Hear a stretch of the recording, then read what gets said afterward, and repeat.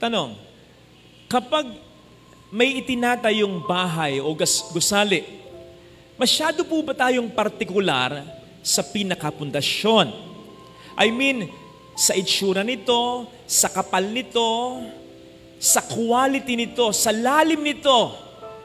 I believe kung tayo mismo yung engineer, yung foreman, or yung architect, syempre oo. Pero kung wala naman tayong kinalaman dyan, at lalong-lalo na kung tayo simpleng mamayang nagpapatayo lang, hindi natin alintana yan. In fact, kapag tayo nagpapaskill gamit ang tarpaulin ng ipinapagawa natin, hindi nga ba't ang pinapaskill, ang pinapakita natin ay yung itsura ng magiging finished project natin. Hindi naman yung itsura ng pundasyon sa ilalim.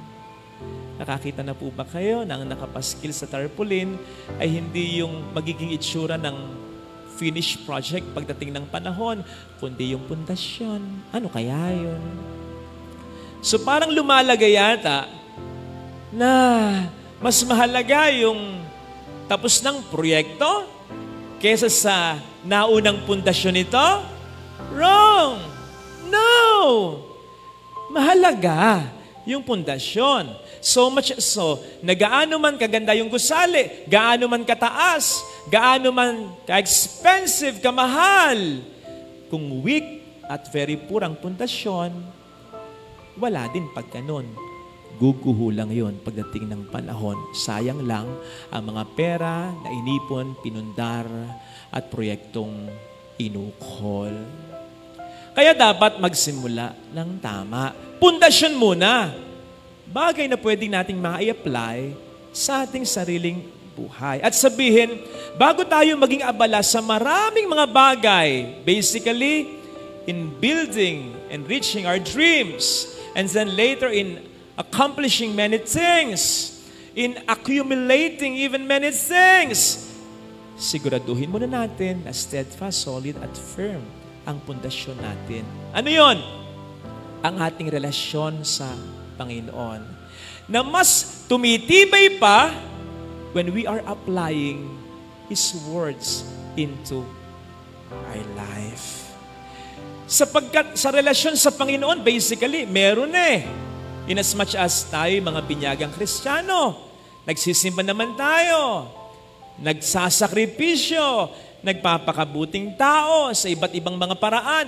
Pero kung hindi natin i-apply ang kanyang mga turo sa ating buhay, ang relasyon na yan ay hindi matibay. Sa papel lang, walang saysay, mabuhay. Parang yung relasyon mo sa asawa mo na mayroong kontratang nakapirma ang pangalan mo, pero hindi mo naman ginagawa yung mga gusto niya. At ang ginagawa mo yung alam mo yung mga kinagagalit niya. Abi, kahit pa sabihin mong kasal kayo sa papel at sinasabi mo sa salita na mahal mo siya, anong klaseng relasyon yon? Walang tibay yon. Walang saysa yon. Guguho din yon pagdating ng panahon. Mga kapatid, tandaan natin ha, ano man ang maging tayo sa buhay na ito, ano man ang ma-accomplish natin, ano man ang marating natin, ano man ang maging sino man tayo, everything will not be worth it if everything in our life will not have a solid foundation in Jesus. Because everything will just fall, will just crumble in the end. Lahat ng bagay na maipupundar mo, kahit sa pamilya mo, gugho kung hindi solid ang ating pundasyon sa ating relasyon kay Kristo. Now, hindi man gumuho ang mga bagay-bagay sa buhay natin sa mundong ito. As in the case of those people who still live a comfortable life without having a solid relationship with Christ. Eh, sigurado ko sa kabilang buhay na wala naman tayong madadala ng kahit ano, guguho din ang lahat ng ito. When the moment we realize, wala palang kwenta ang lahat if we are empty of God. Kaya nga di ba may isipi sa Biblia, ang sabi ng Panginoong Diyos dun sa mayaman, hangal katulad nung Ebanghelyo ngayon, hangal yung taong nagtatayo ng bahay sa ilalim ng buhanginan. Hangal ang sabi niya sa mayaman. Saan mapupunta ngayon? Ang yaman na yung inipon. And then he asks, Ganyan ang mapapala ng taong nag-iipon ng kayamanan, pero dukha naman sa mata, paraphrasing it, sa relasyon sa puong may kapal. Kaya wag tayong hangal or wag tayong tatanga-tanga. Kailangan magsimula ng tama. Pundasyon muna. Relationship with Christ. In order for us to survive the storms of life. Nakalulungkot nga na yung ating mga kandidato ngayon, kapag naglalahad ng kanilang mga plataforma, hindi ito ang inuuna. Relationship with God. Ang nauna lagi, ekonomiya, edukasyon, Paano masusugpo talaga ang pandemya? Paano dadami ang trabaho? Magkakaroon ng maraming negosyo? Paano natin masosolve ang pambubuli ng China? Etc. Pero hindi una. Minsan nga nawawala pa. Relationship sa Kanya. Anong rason? Two things. Una, they don't have that. They don't have that strong relationship with God. Pangalawa, ramdam nila na hindi yun ang ating interes at hanap. O sige nga, o isipin po ninyo, ano bang dating sa inyo kapag ang isang kandidato, ang laging sinasabi ay magpakabuti tayo, honesty, yung relasyon sa Diyos, mas lalo pa dapat na maging mabuti. Maging mga mabubuting ama, ina, magulang, etc. Hindi nga ba't mas may interest tayo sa ekonomiya, sa pera, sa kalusugan, sa trabaho, sa negosyo? Hindi ko sinasabing masama at hindi kinakailangan. Kinakailangan ng lahat ng ito. Pero kung ang lahat ng iyan, ano pa man ang ating maidadagdag dyan, kung hindi ang Diyos ang uunahin at pundasyon ng lahat ng iyan, peke mabuhay ang magiging pag-unlad. Tandaan niyo po yan. Ibig sabihin nun, pansamantala lamang yan at kapag una lagi ay mga bagay na lalo pat kontra sa Diyos. Tandaan po natin po pwede tayong umulad. Pero marami tayong mga mabubuti at mahalagang bagay na may papagpalit sa buhay na po pwede nating pagsisihan pagdating ng araw. Katulad yan halimbawa ng isang pagsisisi, halimbawa ng isang nag-ipon ng, nag-ipon ng pera, pero in the process ay nasira naman ang kanyang pamilya. Halimbawa yan ng isang pagsisisi na inabot ang pangarap niya, pero nakatapak naman Nakaargabyado naman ang karapatan ng iba. Yan ang pagsisisi halimbawa ng isang kapatid na mas marami nga, mas malaki nga ang nakuha niyang mana. Pero in the process ay nagkalit naman sa kanya talaga ang mga kapatid niya. Yan ang pagsisisi ng isang magulang na naging very particular sa maaabot na karir ng anak niya. Nang maabot nga, aba, ang nakalimutan niya ay ang instill dito ang mga values na kinakailangan ng anak niya. Kaya ayon, titulado nga, wala namang respeto sa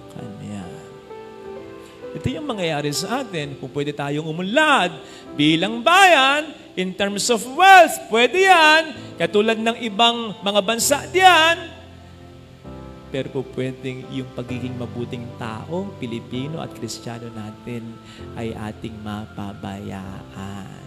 Sige nga, totoo pa kaya 100% sa palagay ninyo ang Amerika doon sa nakalagay sa kanilang pera? In God we trust. Ano? think so. Kasi nga kung minsan dyan, yung paglalagay lamang ng krusipiho sa park, pinagdedebatihan pa. Dapat daw maging sensitibo sa iba. Kanino ka dapat daw maging sensitibo? Sa mga hindi naniniwala sa Diyos. Up! Ba't ka magiging sensitibo sa mga ugas na yan? Mahatakin ka pa niyan sa impyerno. Pero to, ganyan ang Amerika. Paglalagay lamang ng krusipiho sa park, pinagdedebatihan pa. O sige, Maunlad sila. Pero nakikita po ninyo, sa palagay ba ninyo, tatalagang matatag ang Amerika? Lalong-lalo na in terms of values nila. Ilan na ang mga mag-asawang naghiwalay sa kanila. Ilan na yung mga anak na pinalalaglag nila. At ilan sa kanila yung, o oh, di ba, Diyan lang naman madalas yung kaso nung pag nagka-problema. Ah, Alala yung values. Gusto ba nating mangyari yung ganun?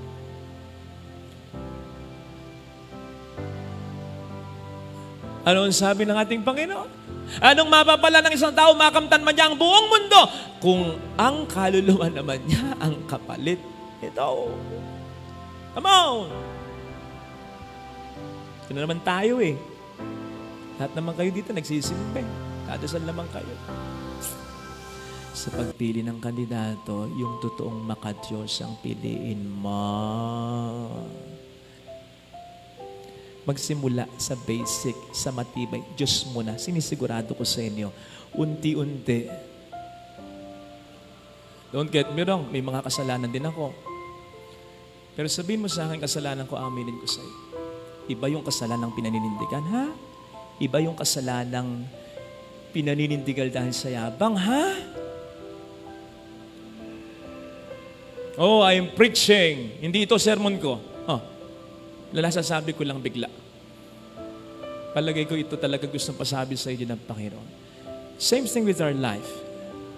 Let me end with this. Kasi for us to battle the storms and to survive the storms of life, sabi ko nga minsan, God did not promise us a storm-free life, but a storm-proof life. Basta ang Panginoon at si Jesus is the foundation of our life.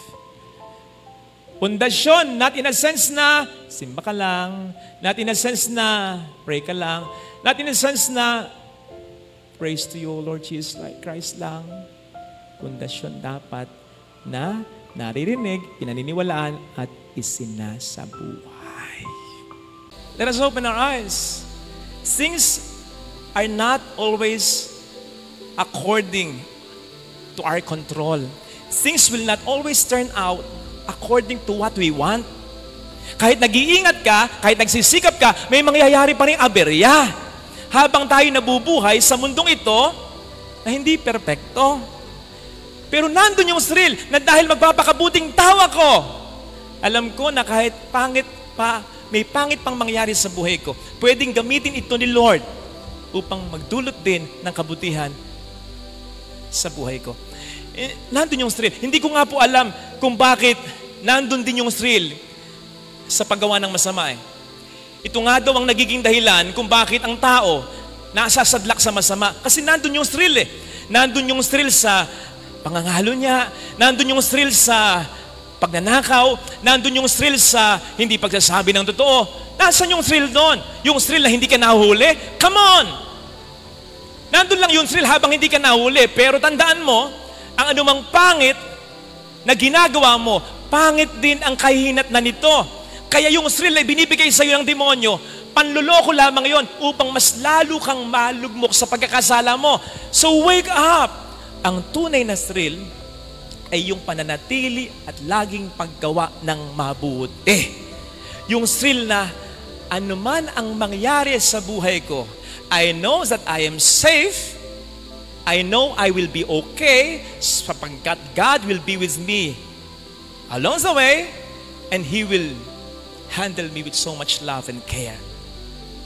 Hindi natin alam ang mangyayari sa kinabukasan, pero ilagay, ibigay natin ang ating buhay sa Diyos na po pwedeng kontrolin ng lahat para sa ating kabutihan.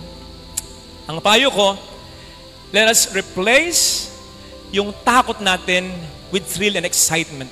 Let us be more thrilled, more excited than frightened. Paano mangyayari yan? We commit ourselves to God. Lord, magpapakabuti na po talaga ako. Pipilitin talagang yung mabuti na.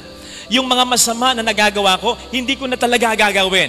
Mas magiging caring, mas magiging loving ako, mas magiging thoughtful ako, mas magiging helpful ako, I'll stay away from those people and from those things na alam kong nagkakasala ako. Talagang pipilitin ko. Magpapakabuting tao na ako. Mananatili na ako sa mabuti. Ibibigay ko na sa iyo ng buong buo ang aking sarili. Yun. Kapag ganon ang commitment natin and we really mean it, we will really do it, magkaroon naman tayo ng, kon- ng takot, konti na lang yan. Konti na lang. Sapagkat mapapalitan niya ng kumpiyansa ang Diyos ang bahala sa buhay ko. Every day, kung yan ang gagawin natin, our mantra will be, ako'y magpapakabuti, ang Diyos na ang bahala sa kung ano ang po pwedeng mangyari. Yun naman talaga ang dapat nating maging attitude eh.